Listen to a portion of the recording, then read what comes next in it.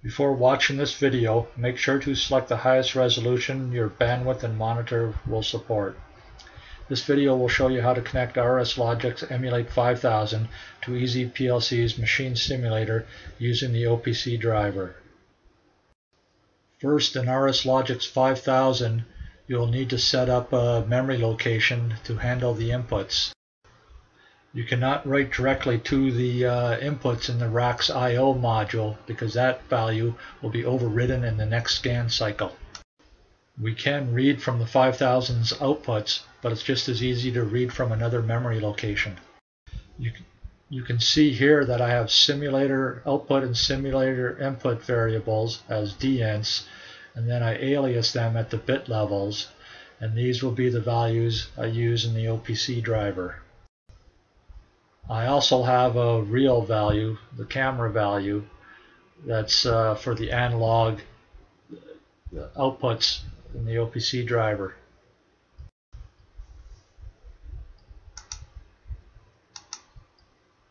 Okay, you need your OPC server name, that's the standard name. Set your topic to uh, what you set up in RSLinx. Set your poll rates for the analog and digital. Uh, digital, you can go to one millisecond if you have a fast computer. No real need. 10 to 20 is usually fine. The analog pull rate, if you have a whole lot of them, you might want to increase that. 20 is fine for what we need here. So we have to add all our output tags to the PLC outputs, which is the OPC digital input. The thing to remember is that OPC output writes to the OPC connected program. In our case, that's the RSLogix 5000 CPU. So it's going to write to the 5000 CPU inputs. The OPC input reads from the 5000 CPU outputs.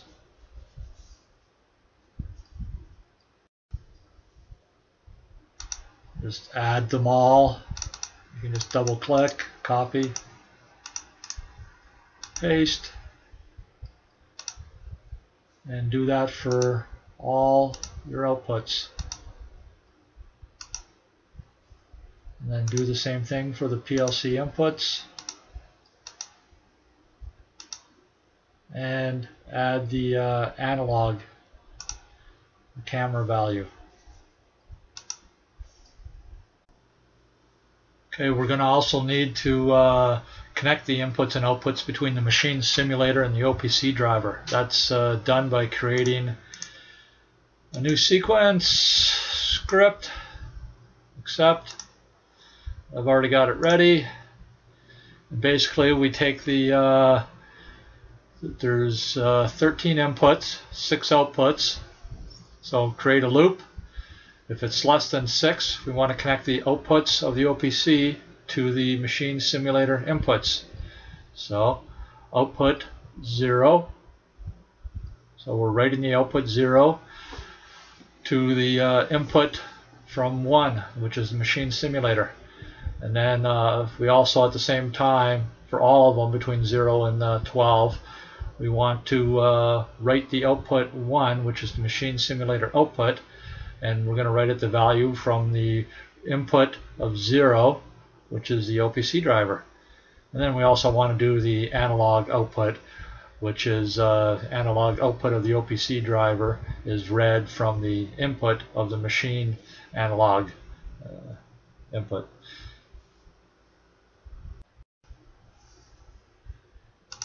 And for the virtual PLC CPU, we don't want the fastest. That's just going to waste bandwidth or CPU uh, cycles. So just limit it to one millisecond. That's all we're going to be scanning at the most anyways. Now compile and send.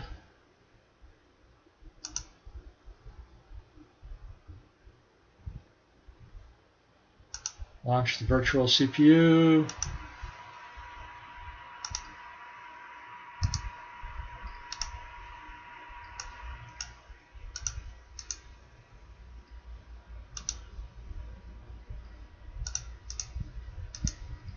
put it in the run mode. Oh, you can see it didn't actually connect. Let's stop.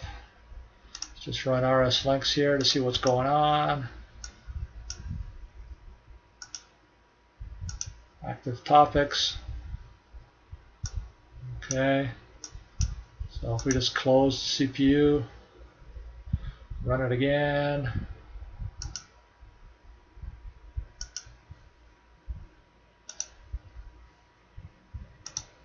The rack again.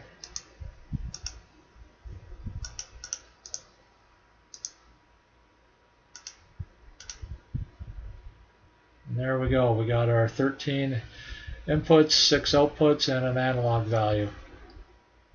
Set it to run mode. You see it running about 1 millisecond.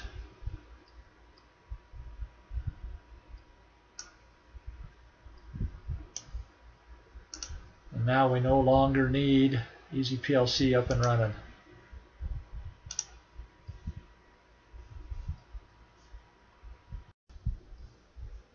Now everything's up and running here. Let's move things around so we can see what's going on. Monitor the tags. Okay. Um, can see here in our rack, I don't even have an input-output module because like I said, I just use the variables. It's the easy way to do it.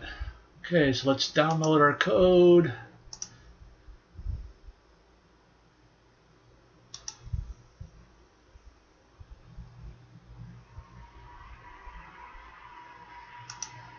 Go online, oh, into run mode.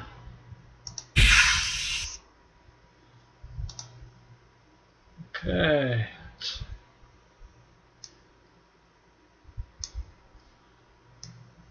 Turn the machine on. The yellow light means the switch on the HMI is not turned on. So both have to be on. It's just me playing around, learning the HMI.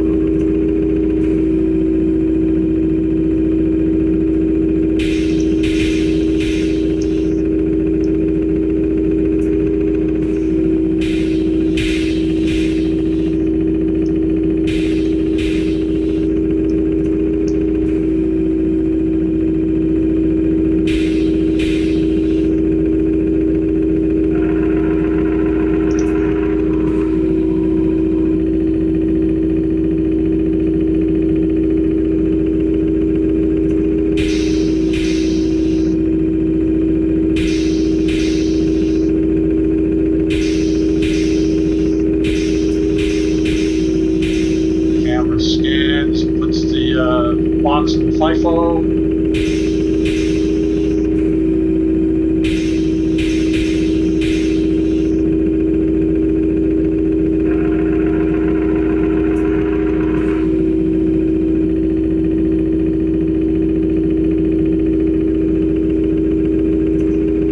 Plastic boxes are coming up. Turns on the push rod.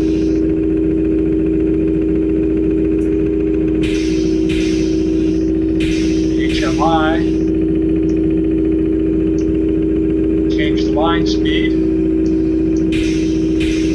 Basically when the box is being created. That's a FactoryTalk View machine edition. See our counts of the boxes. You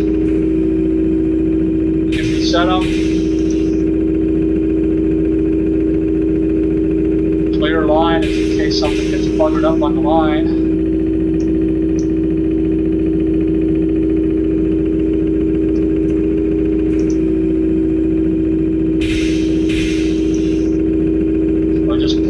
Out of the line. Now it's going to get confused. It's going to fault.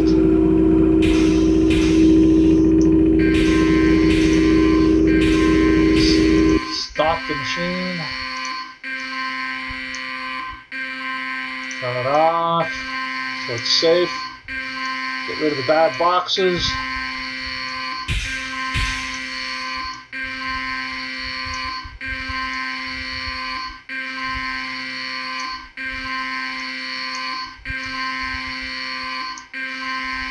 clear the line, shut off the horn with the Q button.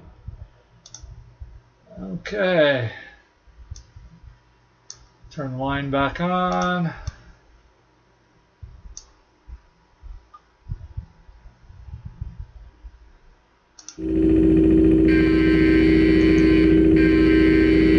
Another box there on that line.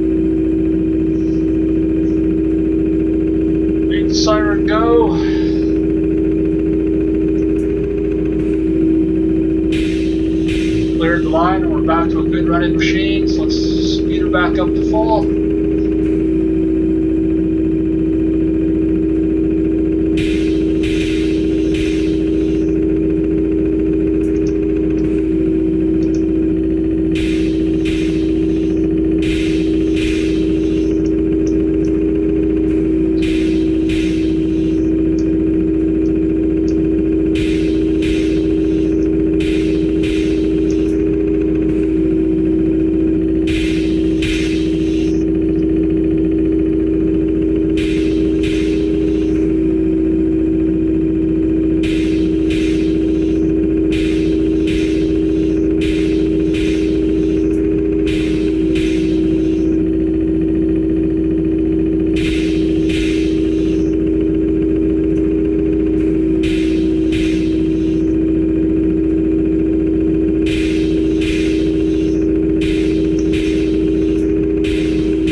That's how you connect everything together.